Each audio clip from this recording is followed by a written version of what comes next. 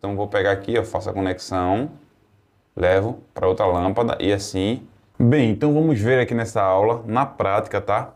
Como você vai poder ligar quatro lâmpadas, por exemplo, com um interruptor, com os condutores saindo diretamente do quadro elétrico. Vou te ensinar de onde você deve pegar cada condutor ali, para não fazer nada errado, tá bom? Aqui quem fala com você é seu amigo professor, engenheiro Jadson Caetano. Então, começando aqui, ó, vamos supor que esses disjuntores estão no quadro elétrico, tá bom? Aqui você vai ter um barramento neutro ou né, um neutro sendo disponibilizado no seu quadro elétrico de alguma forma, tá? Vamos supor que o neutro vai estar chegando aqui geral e a minha, a minha fase geral vai estar chegando aqui em cima, né? Então vou pegar aqui de baixo, tá bom? Para poder é, fazer a ligação dessas minhas lâmpadas. E vamos supor aqui também que esse é o disjuntor que eu vou usar, tá bom? Então dito isso, ó, vamos fazer primeiro com o neutro. Se o neutro geral da rede está chegando aqui, então é simples, é um neutro, a gente sabe que vai passar ali, sair do quadro, tá? E vai ter que chegar em todas as lâmpadas. Então subiu ali, por exemplo, para o teto e já vai ser conectado ali em cada caixinha de cada lâmpada, né? Em cada caixinha octagonal de cada lâmpada. Então subi aí com neutro, simplesmente venho aqui e conecto em cada lâmpada, né? Em cada caixinha de lâmpada que ele for ficar lá em cima, né? Ele vai ter uma derivação ali, uma conexão que vai ficar na própria lâmpada, tá? Evidentemente você não vai ligar diretamente aqui na lâmpada, você vai conectar isso aí no receptáculo, tá? No local adequado ali para o neutro. Então o neutro basicamente é isso, pego do quadro, isso aqui vai estar tá pegando dentro do quadro, né? no barramento de neutro, tá?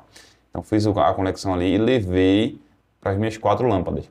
Mas e a fase, professor Jatos? Como é que eu faço? Lembre-se, a fase é aquele condutor energizado, né? Que é o mais perigoso, por assim dizer.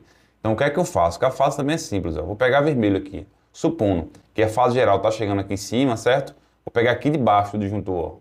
Peguei aqui debaixo do disjuntor e vou diretamente para as lâmpadas, não é isso, meu aluno? E aí, o que é que você acha disso? Exatamente. Se você nos acompanha aqui no universo da elétrica, você sabe que está errado que é que você tem que fazer? Você tem que pegar a fase e levar para o interruptor, que é onde você vai querer ligar ou desligar aquela lâmpada, né? Então, apagando aí, pegar esse, essa fase, vou levar para o interruptor, onde eu quero fazer a conexão ali para poder ligar ou desligar as lâmpadas, né?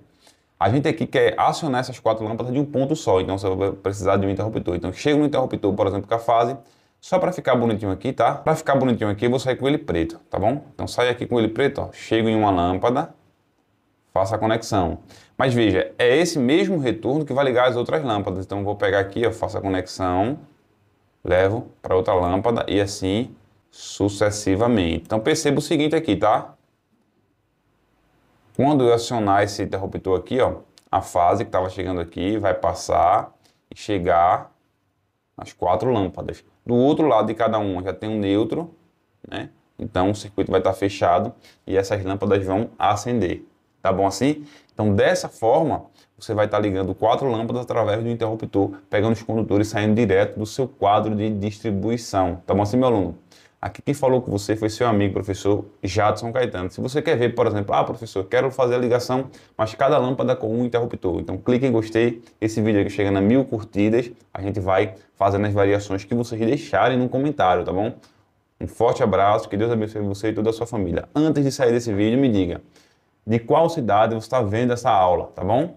Forte abraço!